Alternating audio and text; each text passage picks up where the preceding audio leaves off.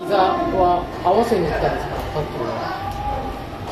膝っていうかミドルなんですけど、えー、とハイキック狙おうと思ったけど、タックル来たんで、まあ、下にしようかなと。日置選手のあの、まあ、掴んでくるだろうなっていうのは警戒してたからこそなんですかうんいやハイキックを出そうと思ったときに下がったんでミドルに変えたんです。ああもうそこの判断していったって感じもう最後はもうパウンドで仕留めていった、なんかももっとすごい喜んでるのかなと思って意外とやっぱさすが冷静です。ねまあ、その対戦相手も地元で、まあ、ちょっと複雑な心境もありますね、まあ、それが自分の身だったらって思う。と、まあ、そう素直に喜んでられないなっていうのもありますし、こうこのリスクある試合を受けてくれたんで、まあ、その分、これから僕は頑張りたいと思います。あそういう気持ちでその今その表情だったりとかで今ライジンにデビューしてで勝利今後っていうのは何か考えてることありますかま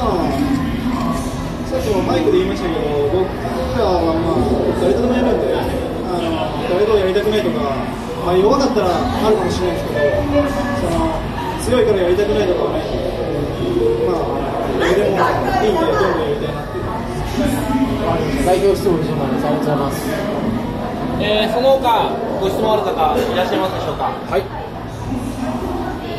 何かの試合前に弟さんからこう声をかけられたとか、まあ、昨日なんか連絡を取り合ったとか、なんかそういったことはありましたでしょうか？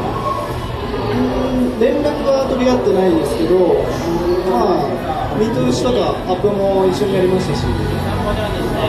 まあ、もちろん入場も一緒にしてたんで、まあ、入場するときに肩叩い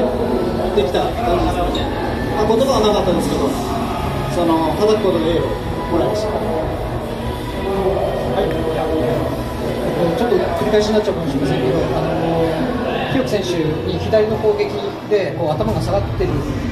ところはこう試合中に感じたのか、それともこうあのそれ前の作戦とかであの手を掴んでたとか、どんな感じだったでしょういや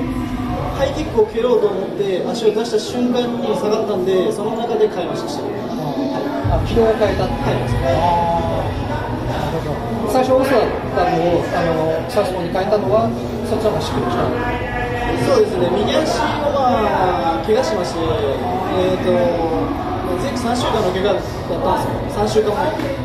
で、まあ今日も蹴ることができなかったんで、オーソドックスだとちょっと蹴りがないと、うん向かい合った時にちょっとしっくりこないなと思って、左にしました。ありがとうございます。すみません、ダブルオンっていう話をするんですけど、あの例えばあの日本人のあの日置選手みたいな、あのまあ、過去あレレジェンド級の選手と、これからの例えば海外の強豪とっていうと、どっちかをやりたいって言ったら、むしろどっちがいいですかあそうですね、まあ、とりあえず名前を入れるまではあの無名の外人とやっても面白くないんで、あの高谷選手とか、まあ、俺とやったら面白いっていう試合を組んでもらいたいですね、日本人で。とりあえず高谷選手です。かえ今今の段階ではとりあえず高谷選手まあ、高谷選手とか、まあ、川尻選手とかでも大丈夫です。し、別に。俺は別に誰でも大丈夫です。